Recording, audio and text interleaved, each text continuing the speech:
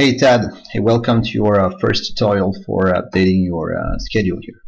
So um, my recommendation would be uh, to open up two tabs in your browser. First one would be bullyingandsphere.ca which is the front end website, the website that everybody can see. Um, so you just uh, go on the presentation and schedule and you'll land on this page. And the second tab would be uh, bullyingandsphere.ca slash administrator. Uh, you'll you'll see like I've sent everything into the the attached files. Uh, you got the files um, of the, the, Word documents that defines your uh, few password in your websites. So basically you enter username and password here and just click login. So here you land into the Joomla administration section which is uh, the, your uh, CMS or the content management system that, that will provide you the ability to update your site um, whatever you like however you want. So let's focus first on the schedule because that's uh, what's important for you right now. So we're gonna go to components, jEvents, jEvents, and we're gonna click on uh, manage events. So here, this is all the events that I've entered myself, right? So the green is for availability, basically, and the, the red are for presentation. Okay, it's fairly easy. So what you want to do is basically you can just duplicate uh, whatever you like. So right now, uh, do we have like a sorting? I think it's sorted through time, so from the oldest to the newest. Yes, I think that's how it's sorted. So it's it's good because because you want to enter like the past events. Uh, it's good to duplicate either the first one, which is a red, or a green one. Well, I guess you won't duplicate the green one because it's the past so like nobody cares of your availability or your past availability. What you are going to duplicate is um, a presentation one.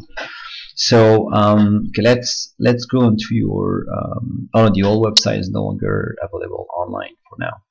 Um, let's say you have like a, uh, you had like a presentation on um, December December 20th 2012 Let's take this example. I'm going to click on the presentation here, which corresponds to the uh, October 5th. I'm going to duplicate this one, so copy and edit. Click there.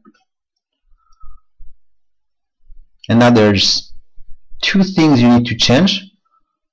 So the category is not available, which is obviously we're going to keep this one. What you want to do is just duplicate the location here. Uh, sorry, edit the location here. So I'm going to click on uh, example location let's call it this way.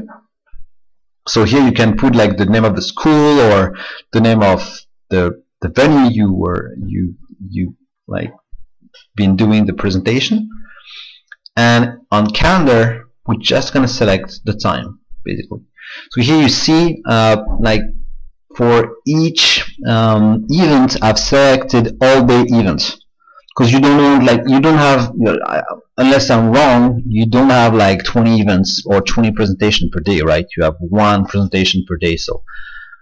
I just keep it simple instead of you to enter a start and end time if you click this one which is gonna be by default if you copy and edit an existing event then you only need to change is the date.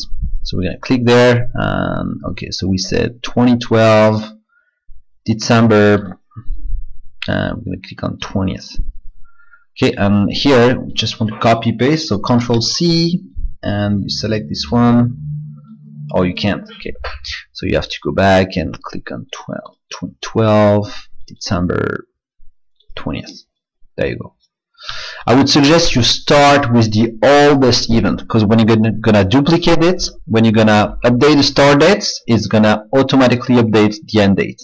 Here it's not doing it because the start date is older than the current end date but when you're gonna create uh, an older event I think it's gonna it's gonna change. Like if you duplicate this one for example and you create an event which is after uh, December 20th 2012 um, it will be easier because you, you won't have to, to update the end dates uh, each time. I think so. Let's give it a try. Uh, so when you're done doing this just click on save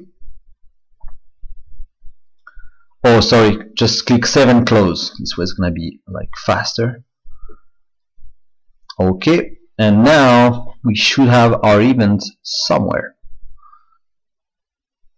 Okay, let's sort the event by timesheet. Let's click on there. So here it's sorted. Oh, oh, I didn't change the date. Did, did I? Hmm. Could doubt now. Oh, hide past events. No, it's because here we got to hide past events to yes. So let's click that on no. There, there you go. Okay, that's the one I've just created here. First row. And now, if I go back to here, normally, if I go back to uh, okay by year, let's click there. By year. I want to go in 2012 events for 2014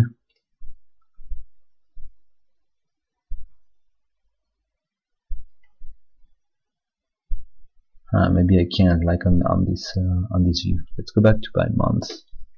Okay. Um, monthly view let's try to go back here try I, I mean, it's pretty uncommon to, I mean, to browse to the past, right? But uh, if this is what you want, let's try to do it. February, January, December. Going to the past.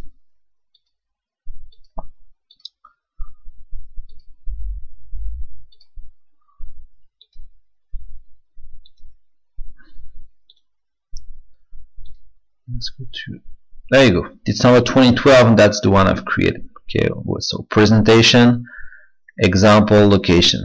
Okay so if you put the proper I mean location I mean you'll be able to uh, to have something here. So basically you can do the same for the future events. Okay you can duplicate either presentation if you already have a presentation in the future like in 2015 for example or if you want to have like to add another availability on let's say I don't know so we got the last one I think is last one is like uh, December 20th 2014 let's say you want to create one on the uh, January 15th uh, 2015 then just gonna click on this one just copy and edit. Um, now the only thing we need to change because I mean they like available for Calgary and surrounding area that's what we want. Category it's available.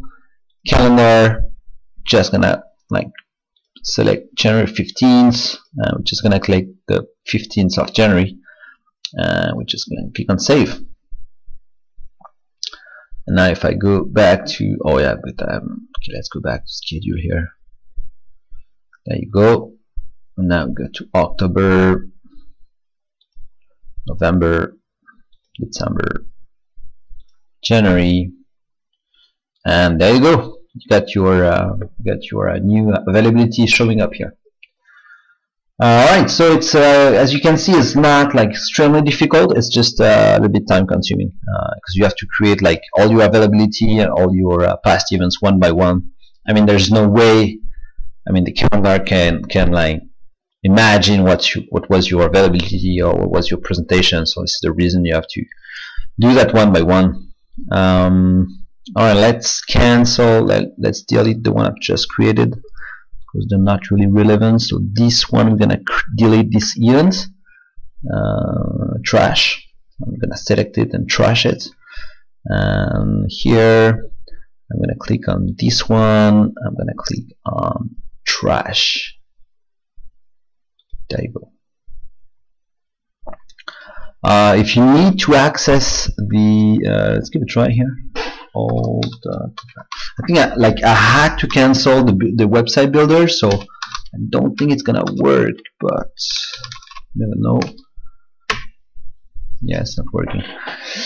If you need to access the old website I've done a backup before shutting it down uh, just in case. Uh, so if you need to access it I don't know to have like a review of your past presentation. If you if your like only support was the website uh, I can totally like put back the website live to like a temporary address for example. Um, so just let me know if you need that. Uh, I can like just upload actually I can just upload the appropriate pages like the um, presentation schedule pages uh, if you need them. Uh, just let me know. And uh, if you have any questions just let me know.